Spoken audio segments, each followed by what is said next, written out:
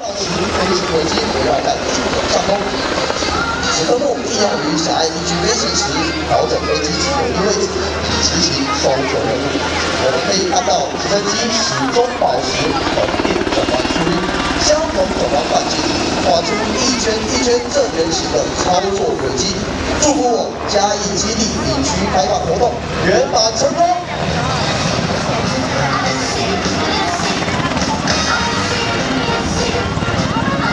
接下来操演科目是侧飞，此为学机特有的飞行动作。